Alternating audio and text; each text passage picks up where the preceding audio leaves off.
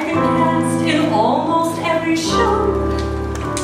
From Carousel to Hair, on Broadway, I was there. But you never, never know. Perhaps you picked me up last year in Fountain.